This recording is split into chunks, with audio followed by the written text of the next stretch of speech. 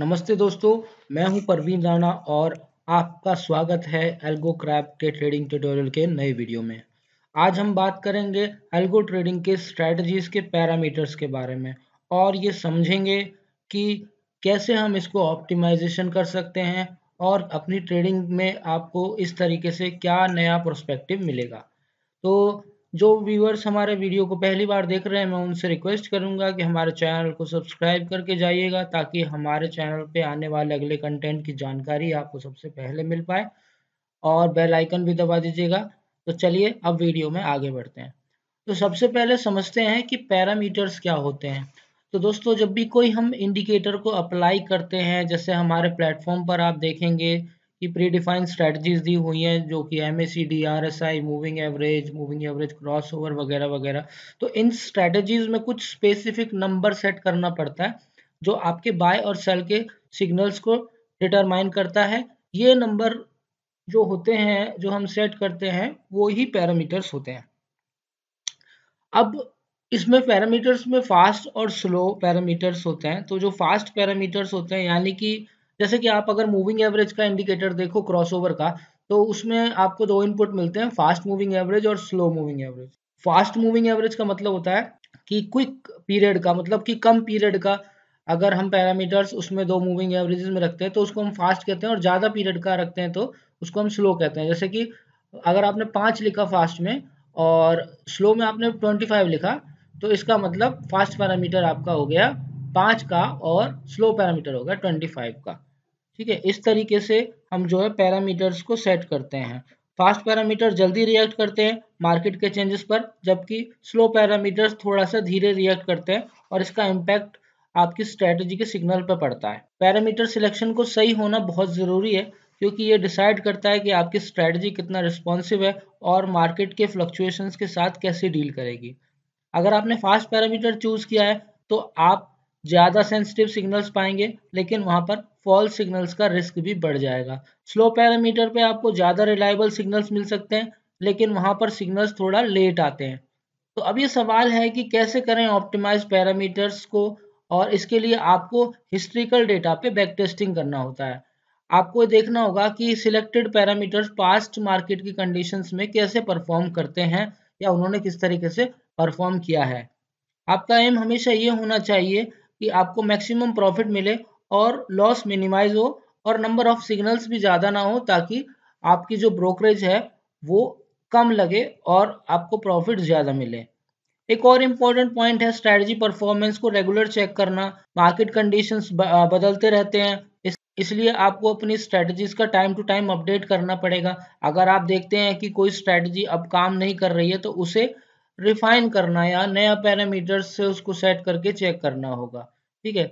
तो अगर आप चाहते हैं कि भाई पैरामीटर्स को कैसे चेक करें, कैसे पैरामीटर्स लगाएँ, क्या करें तो उसका मैं आपको प्रैक्टिकल करके दिखाता हूँ कि फास्ट पैरामीटर और स्लो पैरामीटर करने से स्ट्रेटजी में क्या फ़र्क आता है और अगर आपको बैक टेस्ट करना है तो आप किस तरीके से कर सकते हैं और अगर आपको एल्गो करना है तो भी आप किस तरीके से कर सकते हैं। तो वीडियो बहुत इंटरेस्टिंग है, आगे बढ़ते हैं और देखते हैं प्रैक्टिकल में किस तरीके से इसको कर, किया जा सकता है। तो दोस्तों प्रैक्टिकल जानकारी के लिए अब हम यूज़ करेंगे प्लेटफॉर्म का, जिसका नाम है ट्रेडिंग व्यू ट्रेडिंग व्यू बहुत हेल्प करता है ट्रेडर्स की ये सब चीज़ें करने में एनालिसिस करने में बिकॉज़ बहुत सारी चीज़ें इस पर आपको फ्री में भी मिल जाती हैं तो आपको जो है इसके लिए कोई चार्जेस वगैरह पे नहीं करना होता।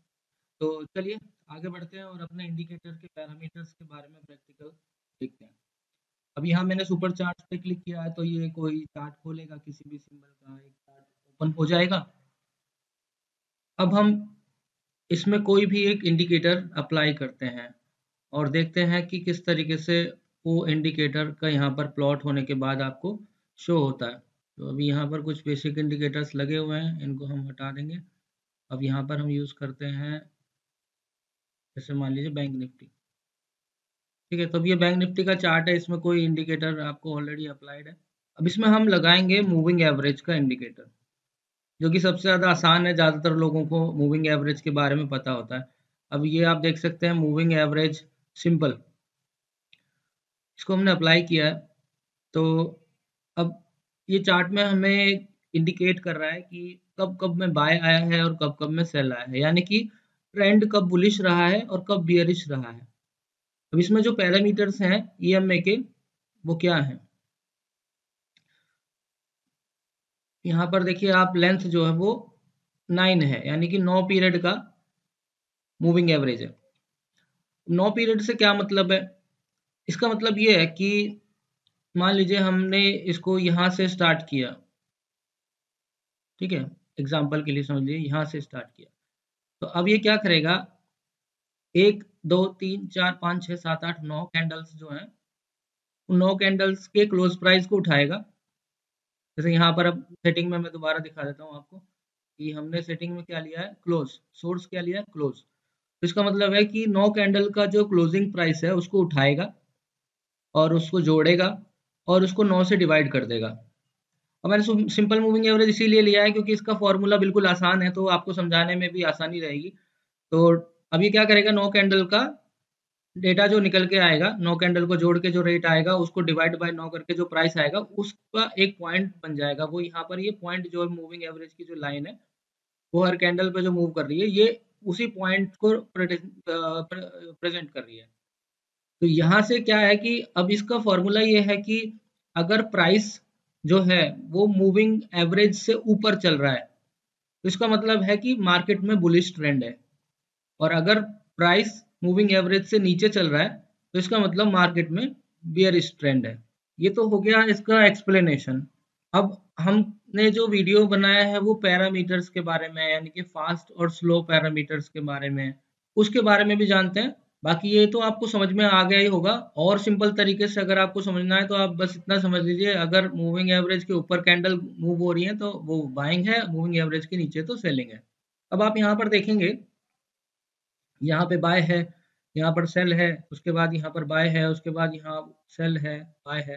तो अभी जो ये मूवमेंट प्रेजेंट कर रहा है, वो नो पीरियड के हिसाब से कर रहा है। नो पीरियड यानी कि नो कैंडल के कैलकुलेशन अगर हम नो पीरियड को और कम कर देते हैं, यानी कि तीन, चार, पाँच कर देते हैं तो उससे इसमें क्या फ़र्क आएगा? यहाँ पर देखिए, अभी मैं इसको पाँच कर दिया। तो पाँच करने के बाद ये और ज़्यादा प्राइस मूविंग एवरेज जो है वो प्राइस यानी कैंडल से बहुत ज़्यादा क्लोज हो गया टच हो गया। तो इससे क्या होगा कि जो रिकमेंडेशंस थी बाय की और सेल की, वो अब बढ़ गई हैं पहले के मुकाबले। पहले अगर यहाँ चार्ट में पाँच सिग्नल थे तो अब वो बढ़ के दस हो गए हैं या उससे भी ज़्यादा हो गए हैं। इससे क्या होता है कि फ्रिक्वेंटली ट्रेड्स लेंगे आप और इससे कि फॉल्स ट्रेड का जो है वो चांस बढ़ जाएगा।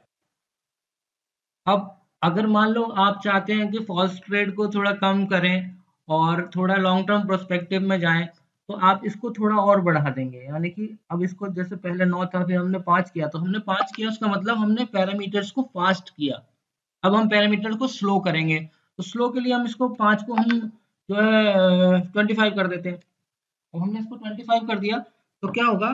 सिग्नल अब सिग्नल कम आएँगे। जैसे कि यहाँ पर अब हम इसको अप्लाई करेंगे ओके करेंगे। तो आप देखोगे कि अब प्राइस जो है, वो दूर हो गया है मूविंग एवरेज से।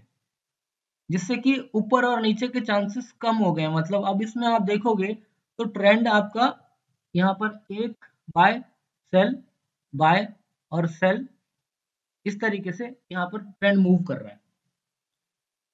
तो ये होता है पैरामीटर्स का खेल। यानी कि अगर आप पैरामीटर को स्लो करते हैं तो आपकी जो सिग्नल्स की फ्रिक्वेंसी है वो भी कम हो जाती है। अगर आप इसको फास्ट करते हैं तो सिग्नल्स की फ्रिक्वेंसी बढ़ जाती है। अब इससे फ़र्क क्या पड़ता है?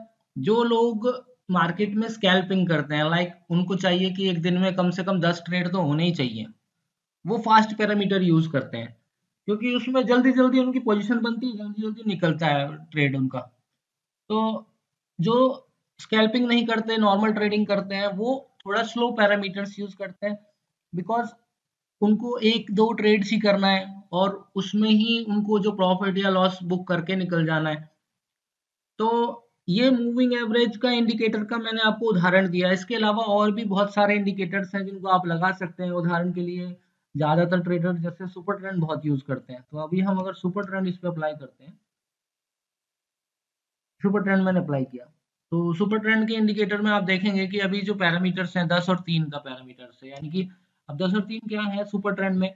दस, तीन, जैसे यहाँ पर लिखा हुआ है एट ईयर लेंथ और फैक्टर तो फैक्टर जो है, उसको कई कई जगह आपको मल्टीप्लायर लिखा मिलता है, कई जगह फैक्टर लिखा मिलता है, और एटीआर एटीआर मतलब एवरेज ट्रू रेंज अब एक एवरेज ट्रू रेंज से हाई और लो की रेंज निकाली जाती है, उसके हिसाब से इंडिकेटर काम करता है। मैथमेटिकल फॉर्मूला अगर आपको इसका देखना हो तो आप गूगल से सर्च करके देख सकते हैं। वो आपको मिल जाएगा, बहुत ही सिंपल होता है। बट हमारा मुद्दा जो है, वो पैरामीटर्स के बारे में है, हमारा मुद्दा ये नहीं है कि ये इंडिकेटर कैसे काम करता है। इसको और भी हम अगर अपडेट करते हैं, जैसे 10 को जो एटीआर पीरियड है, उसको हम अगर 20 कर देते हैं तो उसकी पोजीशन में थोड़ा सा चेंज आएगा। आप देखोगे चार्ट में आपने देखा होगा कि पोजीशन में थोड़ा सा चेंज आया। तो बेसिकली जो इसका मल्टीप्लायर है, जो फैक्टर है, उसको जितना भी हम बढ़ाते हैं, उसके हिसाब से इसको, इसके जो कैंडल्स हैं, वो दूर जाते जाते हैं इंडिकेटर से दूर जाते जाते हैं और सिग्नल्स ज़्यादा बनने के चांसेस कम हो जाते हैं। वहीं अगर आप इसको और फास्ट करना चाहेंगे, यानी कि जितना भी आप इंडिकेटर्स के जो पैरामीटर है उनको कम करते हैं तो वो फास्ट होते जाते हैं। जितने भी आप उनको बढ़ाते हैं तो पैरामीटर स्लो होते जाते हैं। ठीक है? जनरली लोग जो है वो इंडिकेटर्स के पैरामीटर्स का इस्तेमाल करते हैं तो उनको पता होना चाहिए कि अगर आप इसको जितना कम करोगे, आपके सिग्नल बनने के चांसेस उतने ही ज़्यादा रहेंगे। आप जिसको जितना इंक्रीज करोगे सिग्नल बनने के चांसेस उतने ही आपके कम रहेंगे। तो अब यहाँ पर आप देखो, मैंने इसको फाइव और वन किया तो अब इसने कितने सारे सिग्नल बना दिए यहाँ पर। यहाँ पर अगर आप स्कैल्पिंग करते हैं, यानी कि आपको चाहिए एक दिन में पाँच ट्रेड हो जाए, दस ट्रेड हो जाए तो आप फास्ट पैरामीटर का इस्तेमाल करेंगे तो आपको सिग्नल ज़्यादा मिलेंगे। और अगर आप स्लो सिग्नल स्लो पैरामीटर्स का इस्तेमाल करेंगे तो आपको सिग्नल्स कम मिलेंगे। बेसिकली यही फंडा होता है, सारे इंडिकेटर्स में यही चीज़ होती है। अब यहाँ पर एक और चीज़ बताता हूँ कि अगर आप ट्रेडिंग व्यू पे या फिर हमारे प्लेटफॉर्म पर कई बार लोग पूछते हैं कि बैक टेस्टिंग करना है मेरे को तो स्ट्रेटेजी का सुपर ट्रेंड का क्या रिज़ल्ट है? और कई बार हमको बोलते हैं कि आप हमें बताओ कौन सा पैरामीटर यूज़ करें, कौन सा क्या करें। तो उनसे मैं ये कहना चाहूँगा कि हम लोगों के पास, हम जो है वो फाइनेंशियल सर्विस प्रोवाइडर है फिनटेक प्रोवाइडर है। तो यहाँ हमारा जो काम है वो एक आपको सॉफ्टवेयर प्रोवाइड करना है रिकमेंडेशंस वगैरह देने का काम होता है वो इन्वेस्टमेंट एडवाइजर का, जो कि हम लोग नहीं है we are not a SEBI registered investment advisor तो हम आपको रेकमेंड नहीं कर सकते कि आप कौन सा सुपर ट्रेंड लगाएँगे, क्या पीरियड लगाएँगे, क्या मल्टीप्लायर लगाएँगे। लेकिन हम आपको ये बता सकते हैं कि अगर आप इसको बैक टेस्ट करना चाहते हो टेक्निकल कैसे आप इसको टेक्निकली बैक टेस्ट कर सकते हो, कैसे आप चीज़ों को समझ सकते हो और जिससे आपको पता लग पाए कि आपके लिए स्ट्रेटजी प्रॉफिटेबल रहेगी कि नहीं रहेगी। तो इस तरीके की चीज़ों के लिए हम आपकी मदद कर सकते हैं। तो यहाँ मैं आपको बताता हूँ कि मान लीजिए आपको बैंक निफ्टी में ही देखना है। बैंक निफ्टी का मान लीजिए आपको पंद्रह मिनट का चार्ट देखना है और आपको देखना है कि पंद्रह मिनट के चार्ट पे इंडिकेटर सुपर ट्रेंड या कोई भी कैसे परफॉर्म करता है। तो मान लीजिए आप यहाँ पर जाएँगे और आपने सुपर ट्रेंड लिखा। तो अब आपको क्या यूज़ करना है? स्ट्रेटेजी यूज़ करना है बैक टेस्ट करने के लिए। ये इंडिकेटर है, ये स्ट्रेटेजी है। जिसमें ये अप डाउन एरो आते हैं, वो स्ट्रेटेजी होती है। तो जैसे आप स्ट्रेटेजी को अप्लाई करेंगे तो यहाँ पर आपको स्ट्रेटेजी का परफॉर्मेंस निकल के आ जाएगा। यहाँ पर आपको लॉन्ग शॉट लॉन्ग शॉट दिखेगा। तो भी ये दिखा रहा है कि ten thousand four hundred seventy nine rupees का प्रॉफिट आ रहा है। ठीक है? अब ये कौन सी सेटिंग पे आ रहा है? ये यहाँ पर सेटिंग आपको दी हुई है, दस और तीन की। अब आप इसको देखो फास्ट करोगे तो सिग्नल्स बढ़ जाएँगे और प्रॉफिटेबिलिटी में भी फ़र्क पड़ेगा आपका। अब देखिए सिग्नल्स जो है वो आपके इंक्रीज हो गए टोटल 142 सिग्नल हो गए। अगर हम यहाँ पर इसको वापस से दस तीन करेंगे तो मैं आपको दिखाऊँगा, दस और तीन करोगे तो सिग्नल जो वो कम हो जाएँगे। ठीक है, यहाँ पर 140 सिग्नल्स हैं, अभी 142 सिग्नल्स थे तो दो सिग्नल कम हो गए। और यहीं पे अगर आप इसको और थोड़ा सा कम करेंगे, जैसे हमने फाइव और वन किया था, जिसमें बहुत सारी ट्रेड्स बन रही थी तो अगर हम इसको फाइव और वन करेंगे तो आप देखेंगे कि जो परफॉर्मेंस है वो 500 सिग्नल पहुँच गया अभी। जो 140 था वो 500 हो गया। तो जितने ज़्यादा सिग्नल बनेंगे ब्रोकरेज भी उतनी ज़्यादा आपके लगेगी, उतने ज़्यादा आपके चार्जेस लगेंगे। तो अगर स्कैल्पिंग नहीं करते और अगर आप नॉर्मल ट्रेडिंग करते हैं तो मैं रिकमेंड करूँगा कि पैरामीटर्स को स्लो यूज़ किया जाए फास्ट ना किया जाए, ताकि ज़्यादा सिग्नल ना बने, आपको बार बार मार्केट में एंटर ना करना पड़े। एक ही ट्रेड हो, आपकी या दो ही ट्रेड हो, उससे कि आपको प्रॉफिट मिल पाए।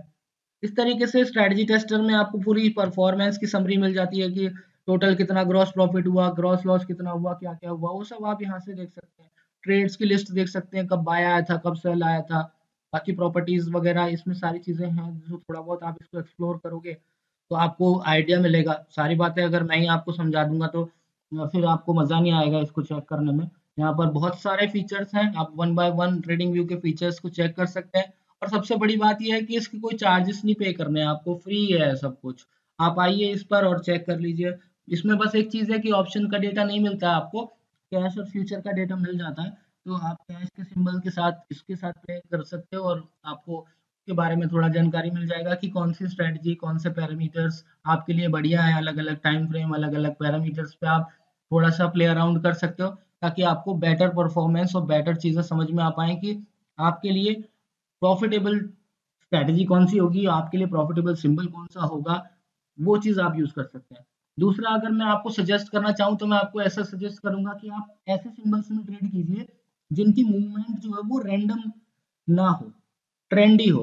बिकॉज़ अगर रैंडम मूवमेंट होगी तो बहुत जल्दी जल्दी मार्केट रिवर्स होगा। बाय आएगा सेल आएगा बाय आएगा सेल आएगा। उस सिचुएशन देखने को मिलती है जो एक अप डाउन अप डाउन इस फॉर्मेट में चलते हैं तो आपको ज़्यादा बेटर मिलेगा। तो दोस्तों, आज का सेशन यहीं पर ख़त्म करते हैं। मुझे आशा है कि आपको सब चीज़ बेटर तरीके से समझ में आई होगी और आपको मज़ा आया होगा वीडियो देख के। अगर अंत तक वीडियो देख रहे हैं तो मैं रिक्वेस्ट करूँगा कि हमारे चैनल को सब्सक्राइब कर लीजिए बिकॉज़ 50 परसेंट से ज़्यादा ट्रेडर्स जो हमारे वीडियोस देखते हैं, वो सब्सक्राइब नहीं करते। तो मैं रिक्वेस्ट करूँगा सब्सक्राइब कीजिए चैनल को, ताकि हमारे को भी प्रोत्साहन मिले और नई वीडियो बनाने में हमें मज़ा आए। तो दोस्तों मिलते हैं अगले वीडियो में। तब तक के लिए bye bye take care and happy trading